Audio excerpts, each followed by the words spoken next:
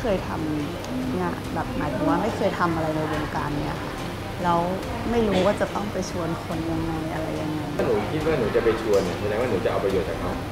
ปัญหาเกิดที่ว่าถ้าสมัครไปแล้วแล้วแบบทำไม่เป็นอะไรอย่างเงี้ยกังวลกลัวว่าเขาไม่ต้อนรับบ้างกลัวคนปฏิเสธ บ้างกลัวคนแอนมันอยู่ตี้บ้าง ที่สเต็ปแรกที่เธอเข้าไปเชื่อมโยงกับเขา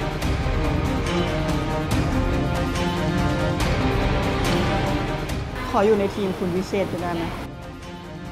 แล้วพี่คิดว่า character แบบดูน่าเชื่อถือไหมแล้วจะทำได้ไหม